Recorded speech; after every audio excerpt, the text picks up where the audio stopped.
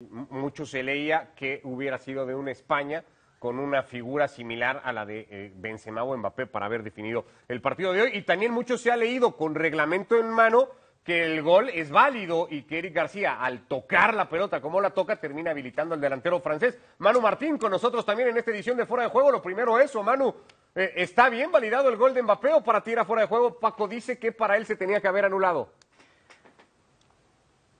Paco, ¿qué, tal? ¿Cómo estáis? Paco, que es un tipo veterano por su edad, eh, sabe que en el antiguo fútbol esto es fuera de juego toda la vida. Lo que pasa es que mm, resulta que hace 20 años he escuchado que cambiaron una regla que no nos hemos enterado hasta este momento y que si, y que si Eric García no hubiera ido a por el balón, eh, sí hubiera sido fuera de juego. Entonces, ¿qué tiene que hacer un defensa? Quedarse parado y luego le criticamos porque se queda parado en los fueras de juego dudosos.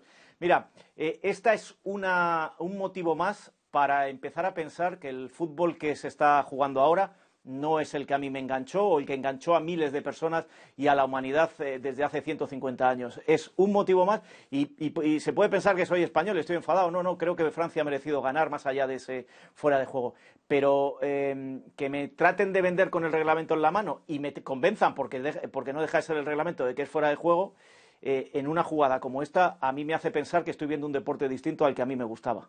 A todas luces, parece posición adelantada. Mbappé parte en posición adelantada al momento del, servicio de, Teo, pero una vez que toca en el defensor de la selección española es otra jugada o se habilita Kylian Mbappé. Por eso... No, que hace intento de tocar, si es que apenas toca. Bueno, se tira al suelo para cortar la pelota, eso es una realidad, ¿no? a eso va Eric García al suelo. ¿Y qué le pedimos entonces al defensa? ¿Que se quede parado? de acuerdo, pero o sea, el punto es, lo que dice el reglamento es eso, ¿no? En el momento de ir al suelo a querer tocar la pelota, la pelota le pega en el talón casi y a partir de ahí se termina habilitando. Le preguntaba a Paco si había ganado el mejor. ¿Con qué sensación de partido te quedas tú, Manu? ¿Qué te ha parecido este desempeño de España superando a Francia desde la posesión? Lo había advertido de Shams, ahí va a ser muy difícil competirle o superar al conjunto de Luis Enrique y luego capaz de generar opciones. El asunto es que no la metió Yarzábal, tampoco pudo meterla Jeremy Pino por hablar de dos jugadas muy puntuales de ese segundo tiempo. Pues mi sensación es que no solo ha ganado el mejor por ser mejor, sino por ser más maduro. Es una selección hecha, es una selección que tiene una pegada espectacular. Ahí están Mbappé y está Benzema. Bueno, Griezmann ya no sé si tiene pegada ni siquiera con Francia, pero bueno, también anda por ahí, por ahí Griezmann. Tienen a Pogba en el centro del campo. Tienen una, una generación que viene ya de aquel eh, Mundial Sub-20 que ganaron en 2013 en, en, Israel. Esa generación pues tiene ya un Mundial y tiene eh, esta Nations League.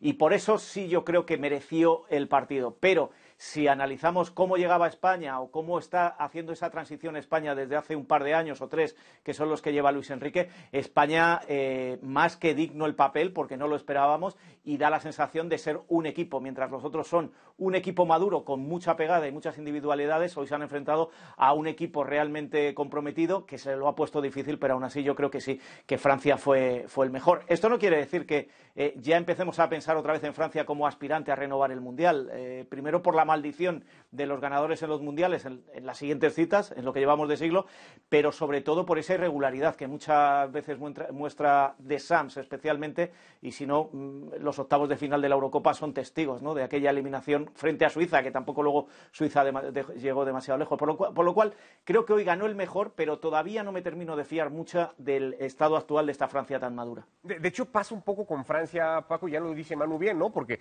le pasó a España después del 2010, le pasó a Alemania después del Mundial de 2014, a la propia Italia le había pasado antes tras ganar el Mundial de Alemania. Eh, Francia daba o da esta impresión últimamente de jugar con el lastre que representa ser campeón del mundo, con la presión que representa ser campeón del mundo. Sí, pero yo regreso al tema de las individualidades. Eh, sí, todo lo que me dicen eh, lo comparto, ¿no? de, que no, después de ganar un título, no regresan igual de fuertes o no pueden aspirar como lo hicieron el torneo anterior y ya mencionaron los ejemplos.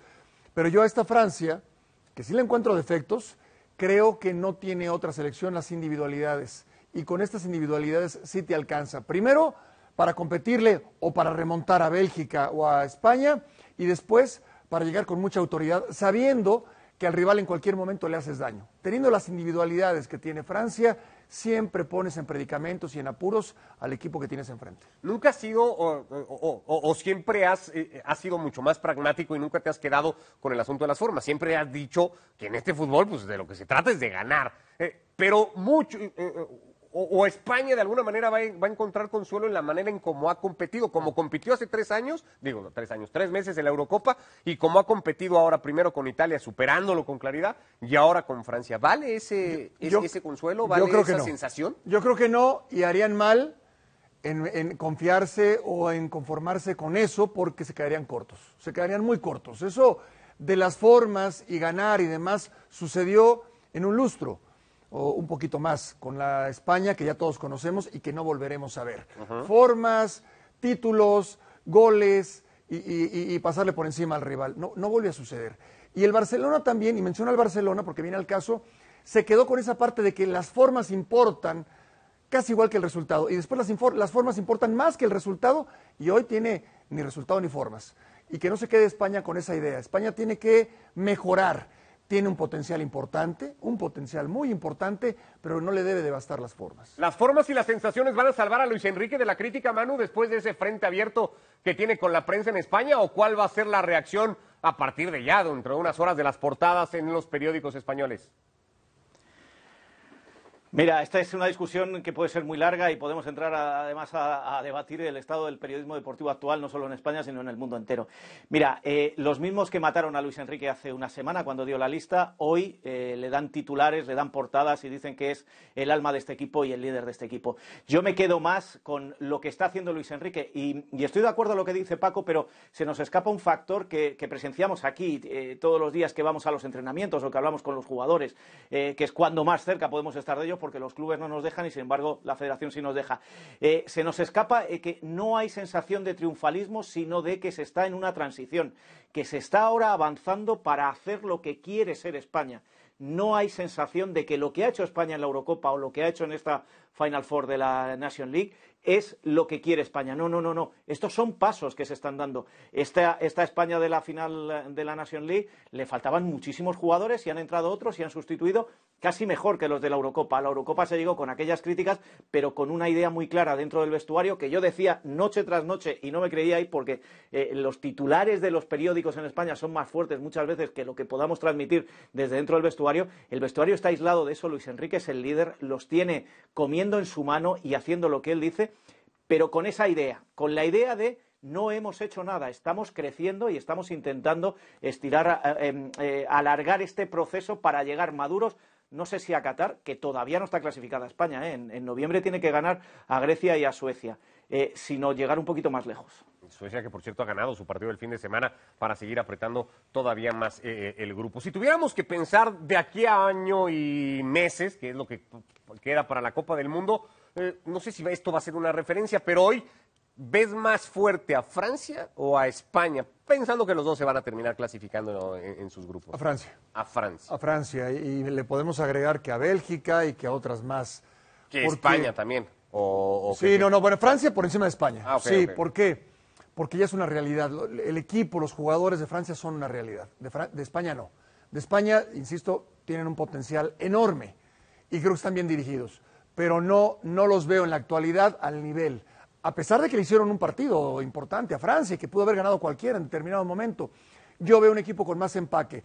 Y estas victorias son un aliciente siempre refuerzan al grupo en lo anímico, si hay ahí algún eh, eslabón perdido, esto lo ajusta y le permite tener y recuperar confianza al técnico y a los futbolistas. La necesitaba de alguna manera también, ¿no, Manu? De Champs después de la Eurocopa, de que mucha gente pedía la cabeza tras caer como cayó en esos penaltis que ya recordaste contra Suiza. Eh, esta selección francesa necesitaba volver a ganar como, camp- como lo que presume ser campeón del mundo.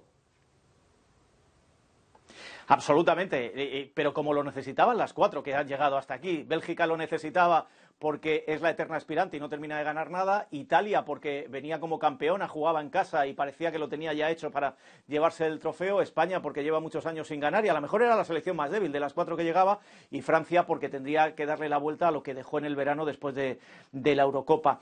Eh, estoy muy de acuerdo con Paco y yo creo que estamos hablando de, lo mismo. Es que eh, Francia es un equipo maduro, es un equipo hecho, es un equipo que casi juega de memoria, mientras que España no deja de ser un proyecto. Y lo que quería, insisto en lo que decía en la anterior respuesta, es que mm, em, en, la selección española, vamos a olvidarnos de la prensa, ¿eh? la selección española y la Federación Española están convencidos de que no se ha hecho nada, sino que se está construyendo para hacer algo. Y esa es la diferencia con Francia, que Francia ya lo tiene todo construido.